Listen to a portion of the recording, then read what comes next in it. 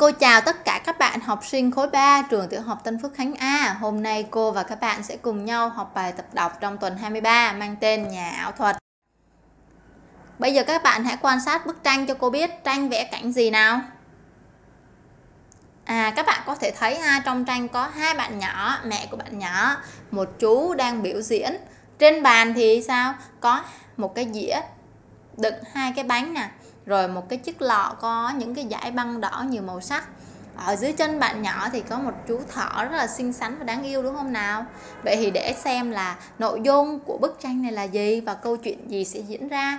Chúng ta cùng nhau học bài tập đọc kể chuyện mang tên nhà ảo thuật. Bây giờ các bạn hãy lấy sách giáo khoa tiếng Việt mở ra trang 40 cho cô. Cùng nhau lắng nghe cô đọc bài nhé. Tập đọc Nhà ảo thuật ở nhiều nơi trong thành phố, người ta dán quảng cáo về buổi biểu diễn của một nhà ảo thuật Trung Quốc nổi tiếng. Chiều nay, trường của Sophie và Mark tổ chức cho học sinh đi xem. Nhưng hai chị em không dám xin tiền mua vé vì bố đang nằm viện. Các em biết mẹ rất cần tiền. Tình cờ trong lúc ra ga mua sữa, hai chị em gặp chú Lý, nhà ảo thuật. Các em giúp chú mang những đồ đạc lĩnh kỉnh đến rạp xiếc Biết hai chị em thích xem ảo thuật. Chú Lý bảo các em chờ một lát, Nhưng chị em Sophie đã về ngay vì nhớ lời mẹ dặn không được làm phiền người khác.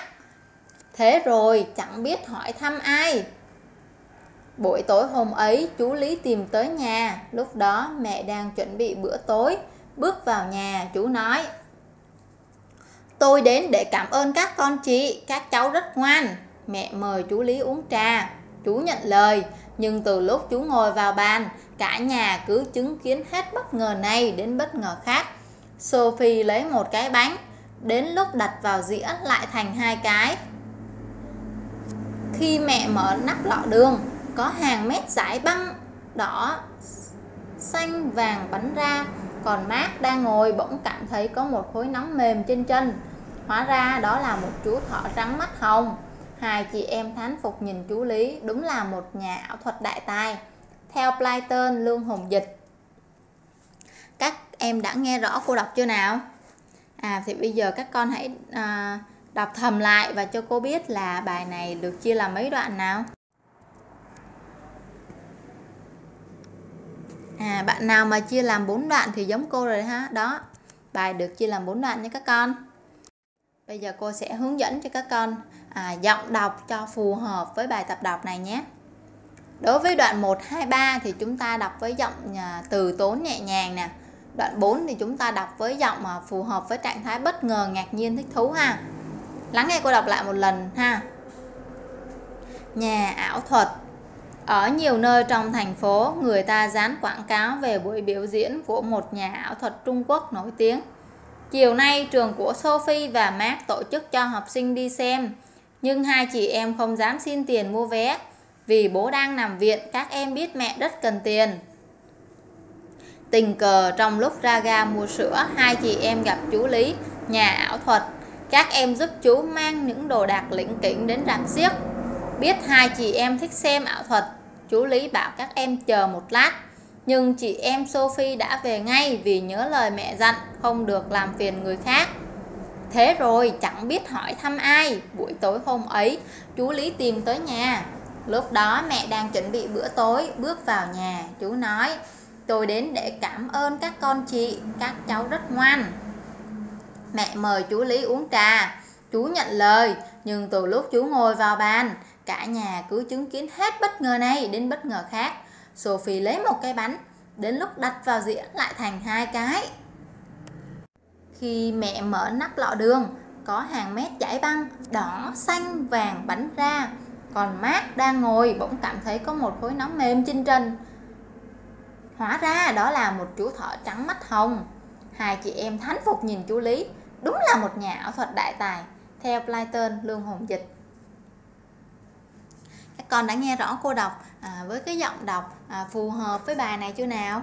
Vậy thì chúng ta sẽ tiếp tục cùng nhau tìm hiểu bài nhé. Bây giờ chúng ta đọc thầm lại và tìm những cho cô những từ mà các con thấy là khó đọc nào. À, cô có một số từ khó đọc như sau. Bây giờ các bạn lắng nghe cô đọc nhé. quảng cáo quảng cáo lĩnh kính lĩnh kính biểu diễn biểu diễn rạp xiếc rạp xiếc rồi lắng nghe cô đọc rồi, các bạn hãy đọc lại cho nó thuần thục và chúng ta sẽ không ờ, đọc sai ha. Rồi, bây giờ chúng ta sẽ tìm những cái từ mà chúng ta khó hiểu để cô giải thích nghĩa cho các bạn ha. Có những từ khó hiểu như là ảo thuật. À ảo thuật là gì nào? Ảo thuật chính là nghệ thuật dùng sự khéo léo tạo ra nhiều biến hóa, khiến người xem tưởng có phép lạ. Tiếp theo nè, đố các bạn tình cờ là gì nào? À tình cờ là bất ngờ không biết trước không định trước. Vậy chứng kiến là gì nào?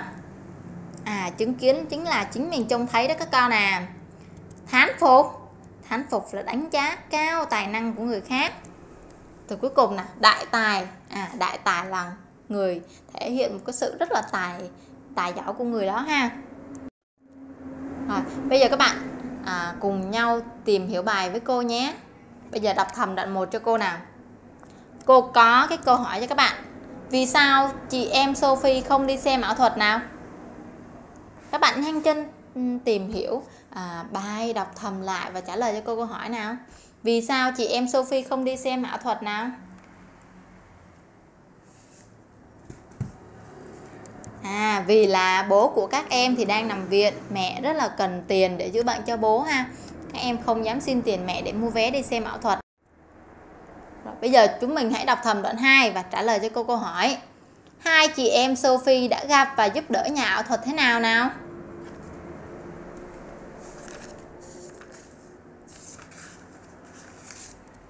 À, hai chị em Sophie thì tình cờ gặp chú Lý là nhà ảo thuật đó các các con. Ở ga ha hai chị em đã giúp chú nè mang những đồ đạc lĩnh kỉnh và rạp xiếc ha. Câu hỏi tiếp theo cho đoạn 2 vì sao hai chị em không chờ chú Lý dẫn vào rạp nào?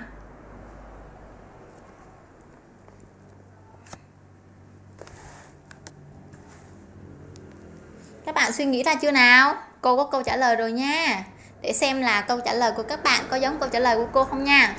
À bởi vì là hai chị em nhớ lời mẹ dặn là không được làm phiền người khác, nên là không muốn chờ chú trả ơn bây giờ bạn đọc thầm cho cô đoạn 3 đoạn 4 trả lời cho cô câu hỏi ha. Vì sao chú Lý tìm đến nhà Sophie và Mark nào? Vì sao vậy ta? Đọc thầm đoạn 3 đoạn 4 các bạn sẽ trả lời được ha. À bởi vì là chú muốn cảm ơn hai bạn nhỏ này rất là ngoan nè, Đã giúp đỡ chú mang những đồ đạc lĩnh kỉnh và rạp xiếc, đúng không nào? Câu hỏi tiếp theo nè. Chuyện gì xảy ra khi mọi người uống trà nè? Các bạn còn nhớ không ta? Chúng ta cùng tìm hiểu nha.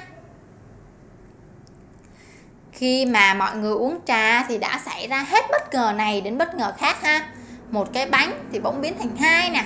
Các dãy băng đủ màu sắc từ lọ đường bánh ra. Lại còn có một chú thỏ trắng mắt hồng bỗng nằm trên chân mát. Thật là bất ngờ đúng không nào? À vậy thì theo em thì chị em Sophie đã được xem ảo thuật chưa nào?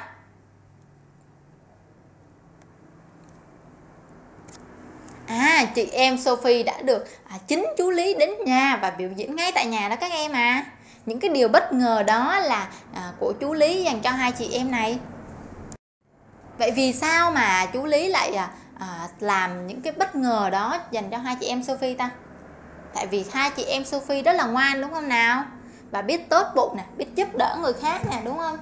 Vậy thì các ờ, các bạn thấy là trong cuộc sống mình phải như thế nào nào? Chúng ta phải biết giúp đỡ mọi người này đúng không nào?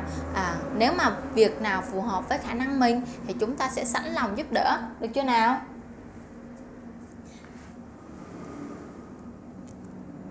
Vậy thì các bạn cho cô biết câu chuyện này muốn nói lên điều gì nào?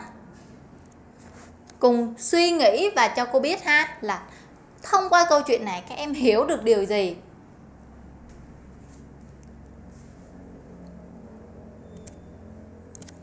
À, câu chuyện này khen ngợi hai chị em Sophie là những đứa trẻ ngoan, sẵn sàng giúp đỡ người khác chú Lý là người tài ba, nhân hậu, rất yêu quý trẻ em. Được chưa nào? Cô nhắc lại ha, nội dung câu chuyện khen ngợi hai chị em Sophie là những đứa trẻ ngoan, sẵn sàng giúp đỡ người khác. Chú Lý là người tài ba, nhân hậu, rất yêu quý trẻ em. Rồi, bây giờ chúng ta sẽ cùng à, qua phần kể chuyện nha. Nội yêu cầu của bài kể chuyện này đó là kể lại câu chuyện bằng lời của Sophie hoặc Mark. Chúng ta sẽ cùng quan sát cô có bức tranh thứ nhất, bức tranh thứ hai, bức tranh thứ ba, bức tranh thứ tư. Bây giờ các con muốn kể lại được câu chuyện thì các con sẽ cùng nhau tìm hiểu nội dung câu chuyện với cô nhé. Rồi bức tranh thứ nhất nào. Nội dung của bức tranh thứ nhất là gì nào? Hai chị em xem quảng cáo về buổi biểu diễn của nhà ảo thuật Trung Quốc. Bức tranh thứ hai là hai chị em đã gặp chú Lý ở ga và giúp Ừ, chú mang đồ đặt lĩnh khỉnh đến à, rạp xiếc đúng không nào? Rồi, bức tranh thứ ba nào. Nhà ở thuật tìm đến tận nhà để cảm ơn hai chị em. Bức tranh thứ tư là những chuyện bất ngờ xảy ra khi mọi người uống trà muốn kể lại được à, bằng lời của mát hoặc là bằng lời của Sophie thì các em phải à, tưởng tượng mình chính là bạn đó ha lời kể phải nhất quán từ đầu đến cuối là nhân vật đó. Các con chọn mình là Sophie thì kể theo lời Sophie hoặc kể theo lời Mark thì là kể theo lời Mark. Chúng ta không có à, là kể lẫn lộn nha. Khi mà chúng ta kể thì chúng ta dùng từ xưng hô là tôi hoặc em. Cô nhắc lại khi chúng ta kể chúng ta phải dùng từ xưng hô tôi hoặc em bây giờ cô sẽ kể mẫu cho các con. À, bức tranh thứ nhất. Cô sẽ đóng vai mình là bạn Sophie. Các con lắng nghe nha. Nhà ảo thuật. Hôm ấy khắp thành phố đâu đâu cũng dán những quảng cáo về buổi biểu diễn của một nhà ảo thuật Trung Quốc nổi tiếng. Trường tôi tổ chức cho học sinh đi xem, riêng chị em tôi không đi vì chúng tôi không muốn xin tiền mẹ mua vé. Bố tôi ốm nằm viện, mẹ rất cần tiền để chữa bệnh cho bố. Các con đã nghe rõ chưa nào?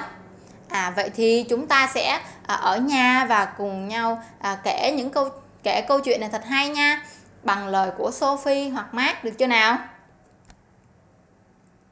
Cô tin chắc chắn rằng là mỗi mỗi bạn trong chúng ta sẽ kể được những câu chuyện rất là hay rồi câu chuyện này bây giờ chúng ta sẽ cùng tìm hiểu xem là câu chuyện này giúp em điều gì nào. Câu chuyện này giúp em điều gì nào?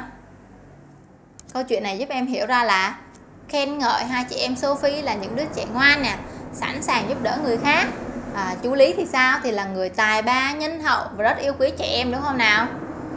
Rồi ở nhà thì các bạn hãy à, ôn lại bài tập đọc đọc thật nhiều lần à, tìm hiểu nội dung à, kể chuyện thật hay cô chúc các bạn học tốt. Chào các bạn nhé.